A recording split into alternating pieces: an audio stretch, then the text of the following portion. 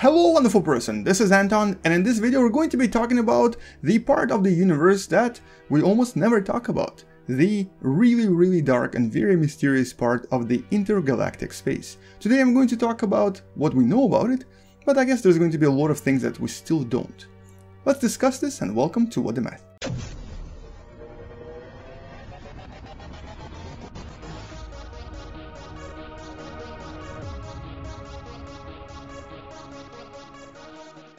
Many years ago, when I was still teaching, I asked my students a question. Where do you think most of the matter in the universe hides in? Where do you think we can find most of the so-called baryonic or visible matter? And almost automatically, pretty much most of them said that it's in black holes, supermassive or ultramassive black holes like the one you see on the screen. This is Sagittarius A star in the middle of our own um, galaxy. The thing is, that's not even remotely close to the truth. As a matter of fact, uh, we need to really go far far away before we discover where most of that mass is. So first of all, uh, only a very small fraction of mass is represented by black holes, because a lot of the mass in the universe is still sort of in gas form. It's basically free floating. It hasn't really become a star or was a star and then exploded and this mass was released again. So most of the mass is really just dust and gas like you see on the screen right here, although this is a slightly more exaggerated, more beautiful version of it. Most of it would not even be visible. But also at the same time, if we really wanted to discover the biggest source of mass, we would have to go outside of our own galaxy. We would have to go into the middle of the empty space known as intergalactic medium. So today we're going to be talking about what is really happening here in between galaxies and why this is most likely one of the biggest mysteries we still have, but also hides a lot of answers to the, well, everything. Whatever we discover here in the intergalactic medium is actually a lot more important than what we discover in the middle of our own galaxy. So let's begin with the rough representation of the shape of everything in the universe. And what you're looking at here is a randomly selected cube roughly around 100 or several hundred million light years across, and this is the representation of the visible matter in our universe. And every little thread that you see, that's essentially the so-called galactic filaments. Now it might be a little bit difficult to imagine what we're looking at here, until we use a simulation uh, known as the Illustris project, which allows us to simulate universe by sort of uh, visualizing various types of radiation spectrum and also of course dark matter. So this is what galaxies would look like. Uh, there is a randomly generated um, elliptical galaxy in the middle there, a few other smaller galaxies around it, and if we were to look at the distribution of gas here, you would see that there's actually a lot of gas present pretty much everywhere around the galaxy as well. But what's more interesting here is if you were to zoom out, with the galaxy still being right there in the middle, but very very small now, you would notice that there's actually a lot more gas all over the place in the middle of nowhere.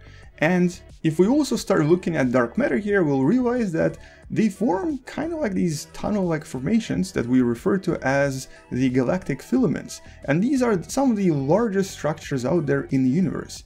And along these um, tunnels or along these filaments are other galaxies. So pretty much every major galaxy out there in the universe is connected with these filaments filled with gas, occasional stars, a lot of dark matter, and um, if we were to zoom out here a little bit more, you would start seeing these formations pretty much everywhere. Now, if I were to remove the gas and only leave the stars behind, this is really what it kind of looks like. This is just the dark matter and the visible matter, which is kind of what you're looking at here as well, except that this is in three dimensions. And for the most part, um, if you were to remove all of the galaxies from the picture, you would still be left with roughly around 80% of the entire mass of the universe. And we're talking about baryonic mass only, not even dark matter or anything. So essentially there is more stuff out there um, that makes up stars and uh, us of course, that is outside of galaxies than inside those galaxies. So all of this intergalactic space, um, basically space between galaxies like Milky Way and the Andromeda, is filled with these filaments that you see and inside of them there's quite a lot of stuff just kind of staying there and most of the stuff is actively interacting with each other. Um, a lot of it is made up of what's known as ionized hydrogen, mostly because these regions of space are very very hot and they create these very um, highly energized molecules. And a lot of this gas is um, essentially plasma, the same stuff that you see when you're looking at the sun. Now, it's not as hot as the Sun, and it's obviously not as dense as the Sun, but it obeys the same principles and still um, is relatively active as well. And one of the ways we've discovered all of this is because when we were looking at objects known as quasars, these really, really, really bright um, active black hole galaxies that emit a tremendously powerful beam of light, we realized that something was absorbing some of their light, but there was nothing in between those galaxies and us. And as the light from these quasars was passing through these filaments toward our own galaxy, some of the uh, light spectrum was absorbed by hydrogen that it passed through, and we were able to observe this and realize that these um, filaments are pretty much everywhere. And what's really cool about some of this gas is that it's never actually reacted with anything um, in a sense that it never formed any stars or any other objects. In other words, this gas has always been there since the beginning of the universe, and some of it will stay there forever. It will never become a star or any other object simply because our universe is expanding and this gas is slowly moving farther and farther and farther away from pretty much every major object in the universe. So some of these molecules will always stay just lonely little molecules. But anyway, what else do we know about this? So first of all, as I mentioned, these filaments form pretty much uh, these major structures in the universe, and some of them are some of the biggest structures we've ever seen, hundreds of millions of light years across, spanning almost the entire size of the universe. In between these structures, however, there are these really unusual voids. Now, one of the biggest requests I get on the channel is to talk about the Boötes void, because I've never officially made a video about it. But I have made a video that you can check out somewhere above my head about the so-called local void, which I don't seem to see here, and that's because it's actually a lot smaller and a lot closer to us. But you can see it in this picture with our galaxy being right there in the middle. So these voids are the empty space or the relatively empty space in between these filaments. And essentially what you're looking at here can be sort of looked at in this way as well. We have these very very large formations known as filaments, galaxies uh, connected to them, and then in between these filaments we get these very large voids with the closest one being the local void. Boötes void is probably one of the more famous ones, but local void is a lot more important to us because it's right on our doorsteps. And inside of those voids, once in a while we do find a galaxy or two, but for the most part they're kind of empty and don't really have much gas in them at all. And even in those filaments that I previously mentioned, the density of the gas is not very high. You could, for all intents and purposes, call it vacuum. As a matter of fact, it's even less than vacuum. Let me give you a comparison. If we were to take a cubic centimeter of volume, which is really really small, it's just a little bit smaller than a typical sugar cube, and create vacuum inside of this uh, using um, the best technology we have here on Earth, there would still be roughly around 10 billion atoms on the inside. So even though we call it vacuum, it's not really vacuum. Then let's compare this to the middle of interstellar space, where Voyager 1 and Voyager 2 probes are right now. Here, vacuum can be anywhere between 1 particle per cubic centimeter to roughly around 1 million particles inside of these nebular clouds. So it's a lot less than what we can create here on Earth, but still, once again, not really vacuum. It still has at least a few atoms inside. However, if you were to leave the galaxy and then move to the region known as intergalactic space, this is when things get a little bit more interesting. The vacuum here drops dramatically. Here you would only discover one single atom in a cubic meter of space. And essentially there are roughly around 10,000 times less atoms than in the middle of the galaxy. And that's of course uh, where it becomes really interesting because even though the density of atoms is much less here in the intergalactic space, because there is so much of that space and because there are so many atoms out there, it still forms about 50 to maybe 80% of total mass of the universe. So if you were to combine all of the intergalactic mass into one, it would be bigger than all of the galaxies together. And for many years now, we've been detecting these unusual interactions between various light coming into our galaxy, including the fast radio bursts, FRBs, that seem to be influenced by various um, parts of galactic filament as they pass through it.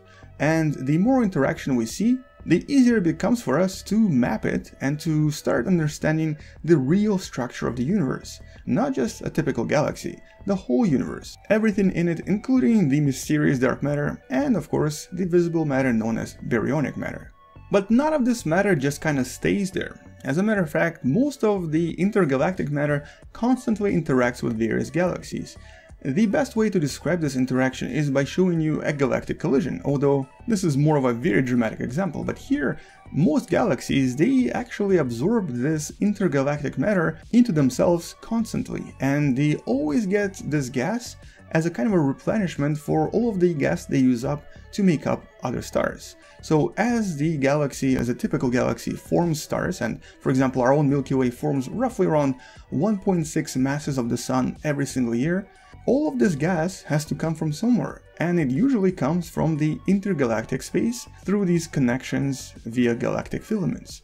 So, in some sense, all of the galaxies are essentially connected. We're literally connected through these invisible bridges, and one day maybe we'll find a way to use them to travel across galaxies but like really, really, really far from now, because we have no idea what's even in there. But more recently, we even started discovering things like magnetic fields in them, and a lot of other really interesting things like stars that we normally find in the middle of galaxies. And some of these stars are very important for us, such as for example Cepheid variables, that we often use for mapping galaxies and for determining distances. So there's a lot of really unique and a lot of really interesting things going on in these filaments in between galaxies. And even more, uh, we've discovered many different stars in the intergalactic medium, including stars between our own galaxy and the Andromeda. There are at least 670 stars that have already been confirmed, and I'm sure we'll find more as we keep looking. But even today, we still have more questions about this part of the universe than we have answers. There are still a lot of questions about the mysterious dark matter, a lot of questions about how these filaments were formed to begin with, and many other questions related to the uh, eventual fate and the evolution of the entire universe as it kind of flies apart and becomes bigger and bigger. So we believe that one day maybe the universe does kind of rip apart, and this means that all of these filaments will disappear as well. For now though, we don't really know. But what we can do today is continuously study these galactic filaments and of course the mysterious voids, and at the same time simulate them here on Earth using supercomputers. And this way we'll be able to one day understand what's going on and how all of this will evolve in the next few billion years. Until then though, or until we understand a little bit more about our universe, that's all I wanted to mention in this video. You can check out the simulation I've used for this in the description below, and subscribe to this channel if you still haven't, share this with someone who loves learning about space and universe, and come back tomorrow to learn something else, and maybe even consider supporting this channel on Patreon because it does help me quite a lot. I'll see you tomorrow, space out, and as always, bye bye.